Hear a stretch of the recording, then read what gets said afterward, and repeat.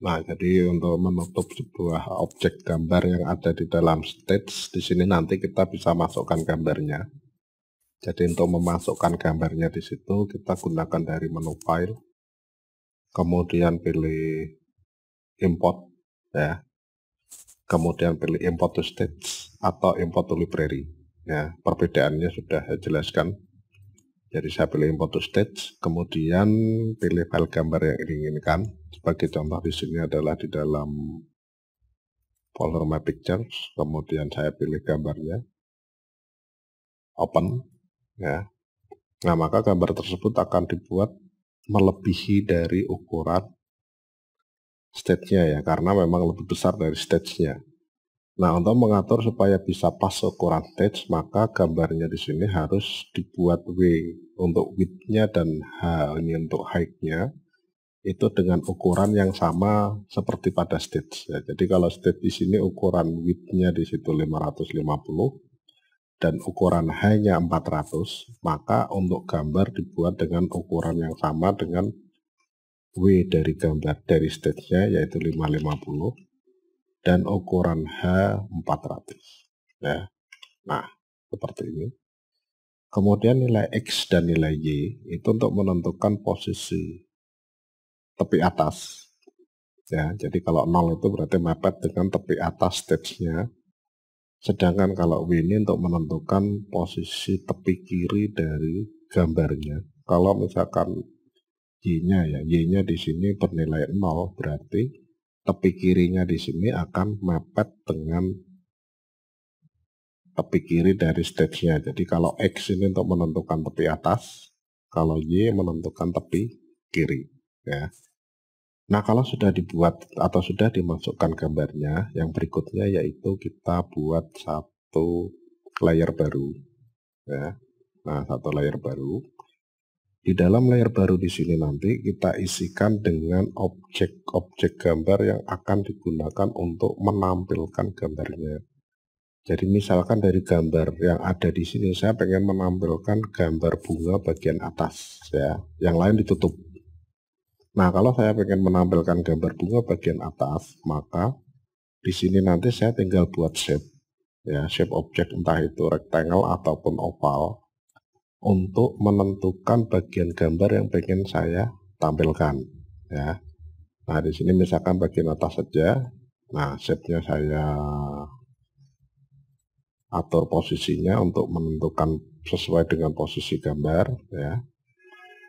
Nah, kemudian setelah ini saya atur posisinya, yang berikutnya tinggal dijadikan bagian dari shape-nya tersebut menjadi masking ya. Nah, untuk menjadikan masking dari bagian shape-nya, maka di sini nanti setelah kita buat shape untuk menampilkan bagian gambarnya, yang berikutnya di sini tinggal kita klik kanan, ya, klik kanan pada layer yang ada, kemudian diklik mesh. Nah, maka nanti secara otomatis pada bagian shape-nya itu akan tampil gambar. Karena ini diibaratkan kita memilih gambar ya dengan membentuk area shape ini sama saja memilih bagian dari gambar untuk ditampilkan. Yang lainnya di sini akan secara otomatis tertutup. Ya. Nah, kalau sudah diatur seperti ini, maka fungsi maskingnya di sini sudah jalan. Jadi hasilnya ini sudah menunjukkan bahwa fungsi masking yang ada di dalam bus itu sudah bisa berhasil diimplementasikan pada dua objek shape lingkaran dan gambar ya. Nah, kalau misalkan saja mau dibatalkan, di sini nanti kita tinggal klik kanan pada layer shape-nya ya, layer 2, kemudian tinggal diklik mas. Ya, maka normal kembali. Cuma ketika ini sudah normal, objek-objeknya di situ tidak bisa dipilih ataupun tidak bisa digeser dikarenakan ini terlock ya, terkunci dengan adanya simbol gambar gembok di sini ini berarti terkunci. Ya.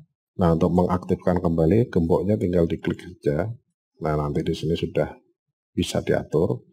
Kita bisa mengubah bagian-bagian gambar dengan membuat shape baru atau menggabungkan shape-shape yang ada. Misalkan di sini lingkaran yang mau saya buat dua lingkaran, nah ini bisa juga. Jadi tinggal diklik, kemudian kita buat gambarnya di layer yang sama, maka nanti objek shape-nya ini akan bergabung. Ya, nah dua objek shape yang bergabung ini ketika kita jadikan masking maka dia langsung menutup pada objek gambarnya. Ya, itu. Nah kalau dipisah bisa nggak bisa selama itu berada di dalam satu frame ya berada di dalam satu layer ya berada di dalam satu layer. Jadi misalkan di sini mau saya buat kotak-kotak kecil-kecil untuk menutup bagian gambarnya atau menampilkan ya menampilkan bagian gambarnya maka di sini bisa kita buat ya kemudian tinggal diklik kanan mesh maka bagian-bagian tersebut akan ditampilkan di dalam objeknya. Nah ini fungsi dari mesh yang ada di dalam flash. Setelah pengaturan mesh di sini sudah kita jalankan, sekarang kita akan mencoba untuk menggerakkan, menggerakkan objek mesh ataupun objek gambar ya yang ada di dalam mesh atau yang ditutup oleh mesh di sini ini untuk dianimasikan atau digerakkan sesuai dengan yang kita inginkan dari objek-objek yang ada. Ya.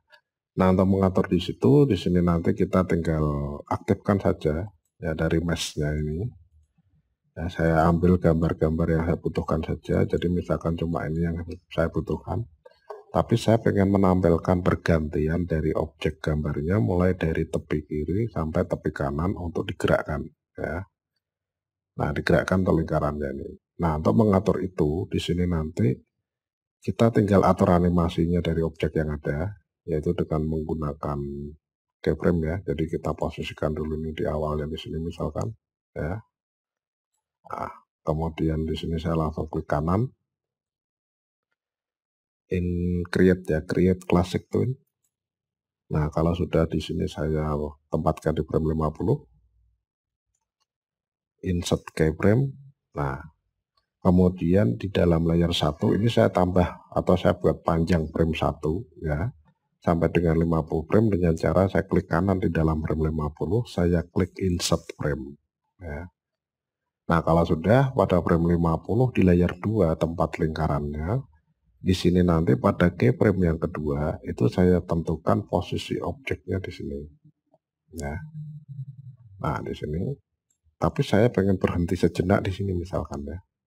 Nah untuk mengatur proses pemberhentian sejenak di sini nanti kita tinggal buat keyframe baru. Insert keyframe diposisikan di sini ya. Nah kalau sudah di sini nanti tinggal klik kanan lagi insert keyframe ya. Kemudian diposisikan di posisi yang sama. Nah, supaya bisa sama persis dengan yang pertama, untuk insert keyframe-nya di situ tidak usah dibuat, tapi kita kopikan dari sini ya. Nah, copy frame, kemudian misalkan saja 20 frame, 1, 2, 3, 4, nah ini kita klik kanan, insert keyframe, ya. Kalau sudah ini tinggal diperpanjang. Ya, 20 frame juga misalkan, nah maka sampai sini. Kemudian tinggal diklik kanan di dalam layer satu tempat dari gambarnya itu kita insert frame untuk menambah panjang atau menambah durasi waktu tampil dari gambarnya. Ya. nah kalau sudah ini tinggal diklik kanan match. Maka sudah jadi ya. Kalau ini saya gerakkan maka nanti di sini sudah bisa menampilkan objek gambar yang ditutup oleh mesh dan bergerak ya. Nah seperti ini. Ya. Nah, ini di dalam pengaturannya. Loh kok ini masih bergerak, padahal saya pengennya diam. Nah, berarti di dalam proses pengaturan pengkopian maskingnya di sini masih belum tepat ya. Nah, sekarang kita coba lagi. Ini diklik kanan, copy frame, kemudian klik kanan di sini, paste frame. Ya. Oke, nah ini sudah sama persis ya. Jadi mulai dari 20 nanti tidak bergerak, bergerak mulai dari 40 ke 60. Nah ini ya. Kontrol enter untuk melihat hasilnya. Maka hasilnya bisa dilihat. Ada animasi gerakan untuk menampilkan maskingnya ya. Tuh. Nah, ini dari menganimasikan masking. Kalau misalkan saja dari objeknya layer satu di sini pengen dianimasikan juga, itu juga bisa dilakukan. Jadi di sini layer 2 tinggal kita klik kanan, kemudian kita pilih mesh. Setelah itu dinonaktifkan gambar gemboknya ya. Gambar gemboknya dinonaktifkan. Kalau sudah di frame 1 ini kita klik kanan, ya, create classic twin.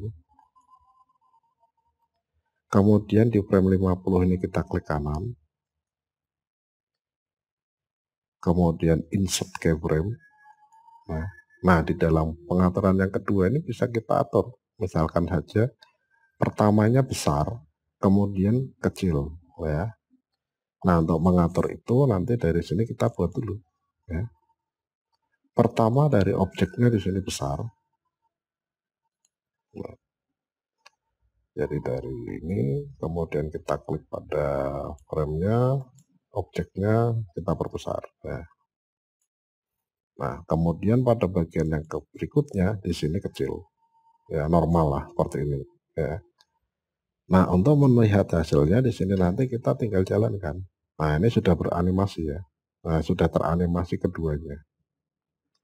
Nah, maskingnya dianimasi, kemudian objek gambarnya juga di animasi ya. Nah, ini sudah jalan.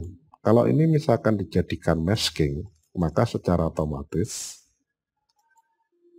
kedua objeknya di situ akan dianimasikan. Nah, dari gambar lingkarannya ini jalan sendiri, gambarnya bergerak sendiri, ya. Nah, ini untuk mengatur animasi dari maskingnya. Jadi kita bisa menganimasikan pada maskingnya, ataupun bisa menganimasikan pada objek gambarnya. Nah, itu untuk masking ya. Dah jadi ya.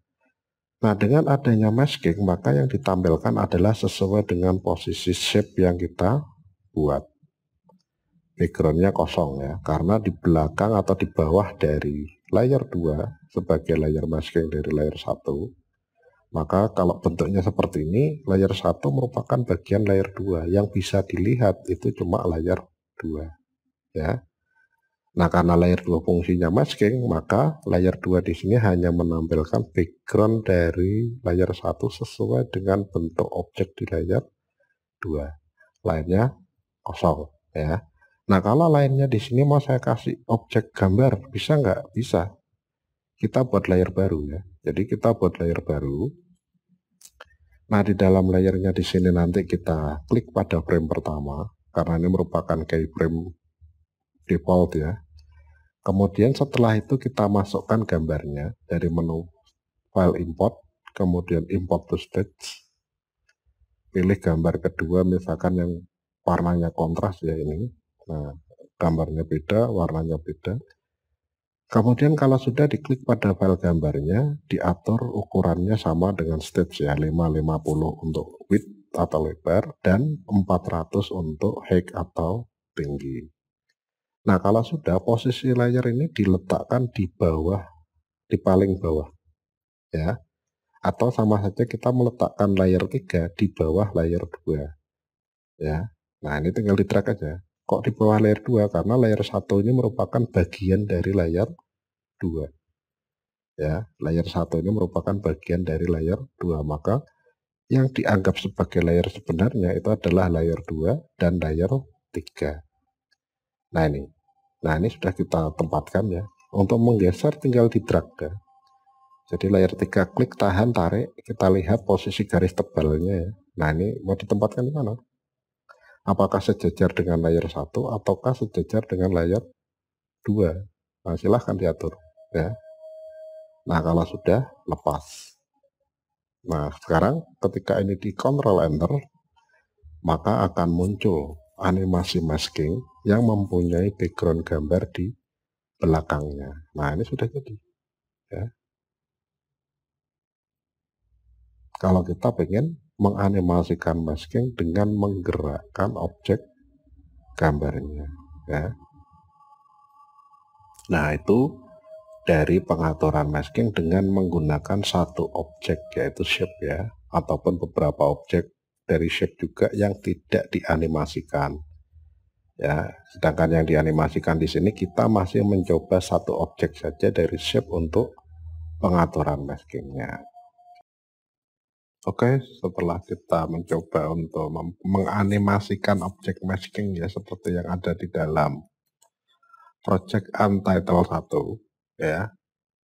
Nah, di sini nanti kita coba untuk menganimasikan masking juga di dalam project untitled 2, eh untitled 3 ya, untitled 3 tapi dengan dua objek yang berbeda.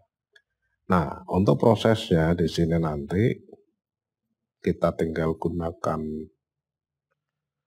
perintah insert ya, import ya, import to stage untuk mengambil gambarnya. Misalkan lagi ini saja ya. Oke. Nah, kemudian saya pengennya bukan gambarnya yang menyesuaikan stage, tapi stage-nya yang menyesuaikan gambar. Nah, di dalam gambar di sini di properti sudah bisa kita lihat ukurannya adalah 1024 untuk W dan 768 untuk H ya. Nah, untuk mengatur itu tinggal kita klik di luar di luar gambar ya. Ini berarti sama saja kita mengaktifkan stage-nya. Nah, di dalam stage-nya di sini ukurannya adalah 550 kali 400 pixel ya. Nah, di sini tinggal diubah menjadi 1024 dikali dengan 768 ya. Enter.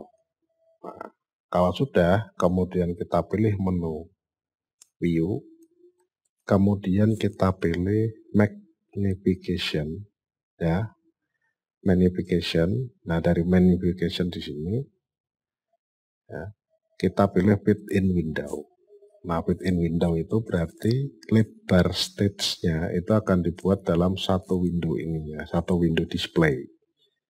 Nah, itu kalau kita pengen melihat semua, kalau kita pengen melihat ukurannya sebenarnya ya kita tinggal pilih dari menu view.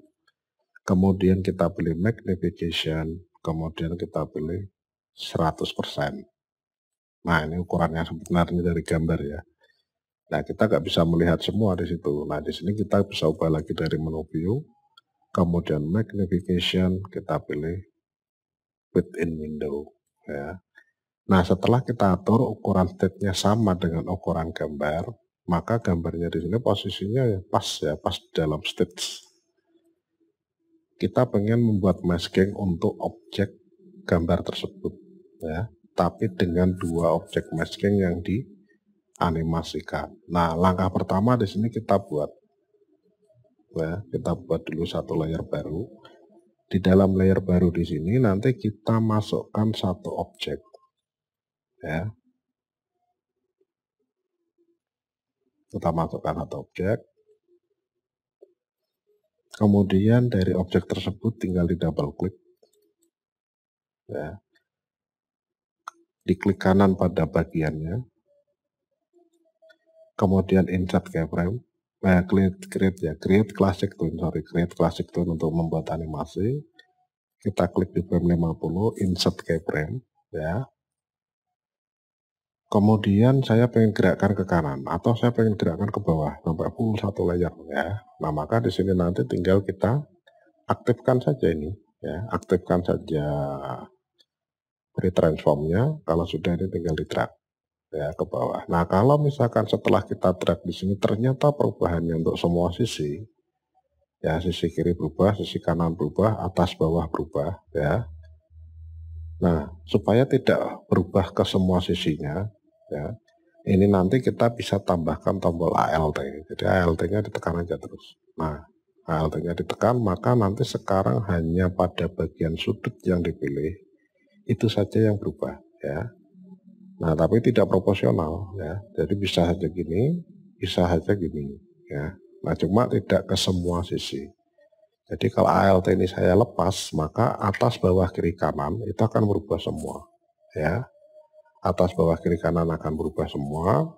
Ini dikarenakan objek yang kita ubah ukurannya itu bukan shape tapi twin ya.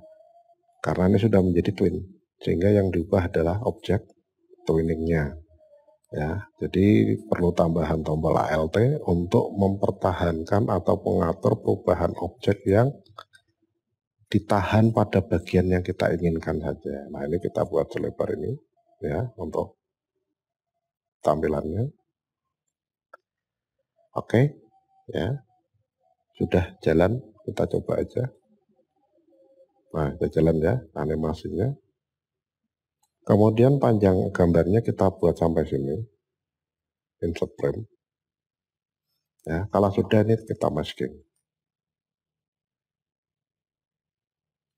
Nah ini seperti yang pertama ya, jadi nggak ada masalah, bisa dilakukan. Nah yang jadi masalah kalau ada lagi objek yang lain ya. Jadi selain kotak ini bergerak ke bawah, saya pengen ada kotak lagi di sini bergerak ke atas. Jadi nanti bertemu di tengah-tengah misalkan ya. Nah kalau ada objek lain berarti secara logika karena masking ini harus berada di atas dari objeknya, maka kita tambah layer. Nah, kalau ditambah layer ini nanti akan menjadi masalah karena apa? Yang bisa di masking itu adalah satu layer tepat di bawah layer maskingnya. Jadi kalau kita gunakan layer 2 ini sebagai layer masking, maka yang bisa di masking itu adalah satu layer yang tepat di bawahnya yaitu layer 1. Nah, kalau layer 3 kita gunakan sebagai masking, maka Layer yang bisa di masking itu adalah layer yang tepat di bawahnya. Jadi hanya layer 2 saja, layer 1 gak akan bisa. Ya. Jadi layer 2 saja yang akan bisa di masking, layer 1 tidak akan bisa di masking. Ya. Itu. Jadi kalau ini saya paksakan dengan objek untuk di masking, maka yang bisa di masking adalah layer 2-nya bukan layer 2 dan layer 1. Karena secara default masking ini hanya bisa digunakan untuk satu layer saja. Nah terus bagaimana solusinya kalau kita ingin menganimasikan dua layer yang berbeda ya atau dua objek ya dua objek yang teranimasi bergerak berbeda untuk dijadikan masking. Nah ini kita coba dulu aja. Kita coba dulu aja buat lingkaran ya. Nah, lingkaran eh kotak aja kotak sorry kotak ya saya buat di sini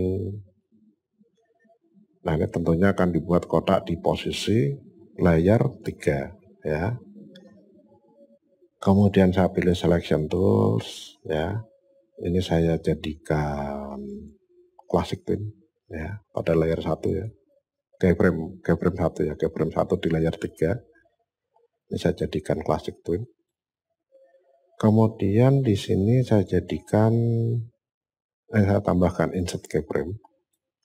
Saya animasikan ke atas ya, pakai ini free transform. Kemudian saya drag ke atas. Oke. Ya. Tentunya pakai tombol ALT ya untuk menahan gerakan perubahan objeknya ya. Oke, sudah. Nah, sekarang ini saya masking layer 3 maka yang terjadi nah seperti ini nggak bisa ya. Nah kalau nggak ada gerakan? Iya karena yang di masking itu adalah layer duanya bukan layer satunya ya.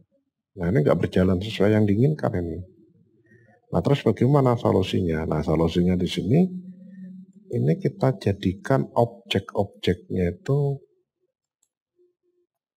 saya buat dokumen baru aja ya, saya buat dokumen baru atau stage baru.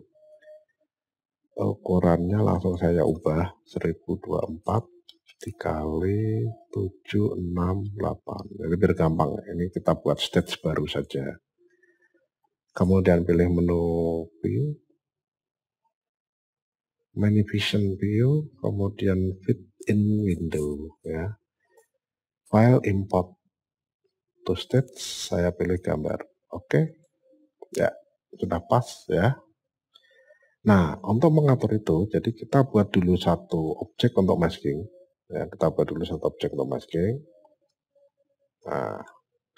Oh sorry sorry. Di dalam layar baru ya. Nah buat layar baru kemudian kita buat satu objek untuk masking ya seperti ini ya Nah, setelah kita buat objek untuk masking, objek tersebut harus dikonvert terlebih dahulu menjadi simbol.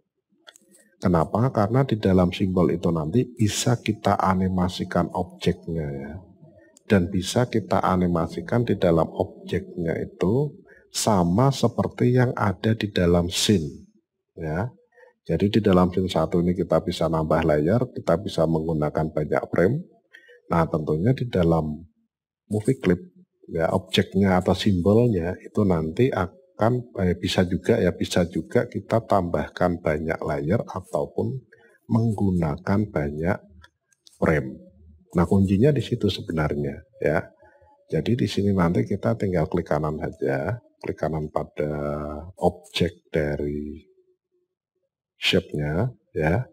Kemudian kita pilih convert to symbol. Nah, di sini kita atau saya kasih nama kotak. Ya, nama bebas. Nama bebas yang penting nggak boleh ada spasi ya. Kalau pengen dipisah pakainya underscore. Underscore satu. Ini ya. Jadi nggak boleh pakai spasi. Oke, kotak. Kalau sudah untuk type dari objek atau dari simbol yang kita buat dari objeknya, ini saya ganti ke movie clip. Oke, ya. Titik pusatnya saya atur di tengah. Kalau sudah di oke. Ya, sudah jadi. Ya.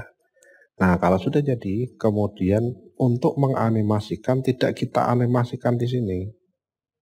Tidak kita animasikan di dalam scene-nya tapi dianimasikan di dalam simbolnya. Ya. Jadi ini karena sudah simbol, simbol itu sama saja satu objek, satu benda, ibaratnya gitu, satu benda. Yang di dalam benda ini bisa kita atur lagi, ya, bisa kita atur lagi. Nah, untuk masuk ke dalam simbolnya, untuk membuat animasi di dalam simbolnya, maka kita tinggal double klik ya, klik dua kali di dalam simbolnya, klik klik. Nah, di sini nanti akan masuk ke dalam simbol. Ya bisa dilihat ini, sin satu kotak. Ya, tidak sin satu saja, tapi sudah kotak berarti area kerja yang ada di dalam tampilan ini adalah area kerja yang ada di dalam simbol kotak. Ya. Nah sekarang di sini kita tinggal klik kanan, create classic twin, kemudian klik kanan di dalam frame 30, insert keyframe, ya kemudian saya aktifkan pre-transform toolnya ya. Kalau sudah ini saya geser ke kanan oke 30 frame ya. Kemudian saya klik kanan di dalam frame 60 insert keyframe lagi. Ini saya buat ke bawah ya. Misalkan inilah tengah ya setengah ya sudah ya. Sampai dengan ini ya nah oke sudah. Kemudian kalau sudah untuk objek keduanya di sini nanti kita tinggal buat layer baru ya. Jadi buat layer baru. Kemudian di dalam layar baru tersebut di sini kita masukkan di frame satunya ya objek baru. Misalkan di sini Nah, ya. Kalau warnanya beda gimana? Enggak masalah. Karena nanti setelah di masking warnanya menjadi sama ya, sama-sama bolong. Jadi mau pakai warna beda nggak apa-apa, mau pakai warna yang sama juga nggak masalah ya. Ini untuk masking. Oke, ya saya kira cukup untuk posisinya. Ya. Ya, kalau sudah di dalam keyframe pertama, ini tinggal diklik kanan. Kemudian create classic twin. Ya, create classic twin kemudian diaktifkan pre-transform toolnya. Setelah itu di drag ya, pakai ALT ya. Nah, di drag. Nah, kalau sudah kita masukkan ke dalam frame 60. Kemudian insert keyframe lagi ini di drag ke atas ya. Nah, sampai sinilah misalkan kita buat hampir seimbang ya pergerakannya. Oke, ya, saya kira cukup. Enggak. Ya. Nah, kalau sudah, kemudian tinggal kita atur, ya. Tinggal kita atur atau kita lihat animasinya apakah jalan, enter saja ya, enter saja. Nah, ini sudah jalan. Oke. Oh, ada kekeliruan di sini kurang satu frame ya. Serta kurang satu keyframe ini ya. Ini insert keyframe. Ini cuma sampai di sini berarti ya sesuai objek gambar awalnya. Nah, nah kurang lebihnya sekian lah ya, gak apa-apa ya. Nah, ya, oke. Untuk awalnya di sini kita buat sini. Ya, nah, awalnya seperti ini. Bergerak ke kanan. Nah, ya kemudian bergerak ke atas. Nah, namanya ada jalan ya. Jadi animasinya sudah jalan, jadi nggak ada masalah ini. Saya kira ya, nggak ada masalah untuk animasinya, oke-oke saja, bisa jalan dengan baik ya. Nah, di sini tinggal kita atur pakai shift, kalau kurang besar, kurang lebar ya. Oke. Di frame 30 kita lihat lagi perkembangannya. Nah di sini juga sama pakai ALT kita buat lebih lebar lagi. Kalau kurang lebar ya kurang tinggi nah ini tinggal kita atur kurang lebihnya sama lah ya. Nah kalau sudah ini hasilnya nah seperti yang bisa dilihat bergerak ke kiri ke kanan kemudian ke atas ke bawah ya. Oke cukup selesai bisa ya dua objek yang dianimasikan dalam satu objek. Ya. Nah, kalau sudah kembali ke sini. Kemudian pada layer 2, ini sekarang kita klik kanan, kemudian kita mesh. Oke. Ya. Kalau sudah di control enter. Nah, udah bisa jalan ya. Hasilnya seperti ini. Nah ini untuk maskingnya ya. Nah oke. Okay.